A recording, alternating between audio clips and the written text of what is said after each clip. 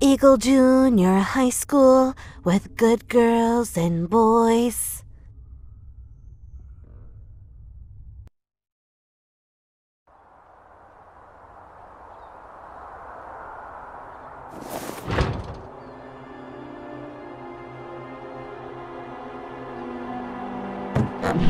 Good night, little one. Dream with angels.